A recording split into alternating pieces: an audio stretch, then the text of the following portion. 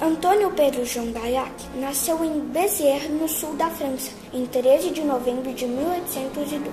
Sua família era de pais muito religiosos. Com eles, Gaillac aprendeu a amar a Deus e aos irmãos, iniciando sua vida religiosa.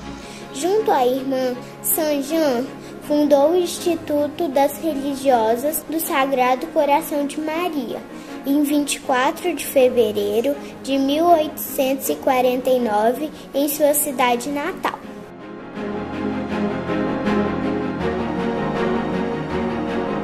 Mali, Moçambique, Zâmbia, Zimbábue, México, Estados Unidos, Brasil. Escócia, França, Inglaterra, Irlanda, Itália, País de Gales e Portugal.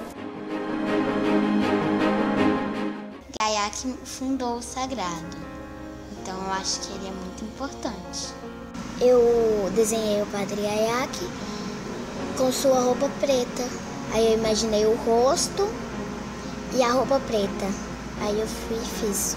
Imagino que ele era uma pessoa muito boa.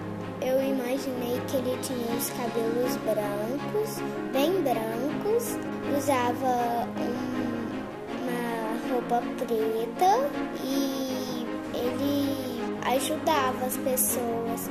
Então eu desenhei o rosto dele é, de uma pessoa bem bondosa. Eu imaginei Gaiac minhas, minhas mãos para desenhar o espírito religioso e também eu desenhei ele com muito carinho porque ele faz parte do Instituto Sagrado Coração de Maria.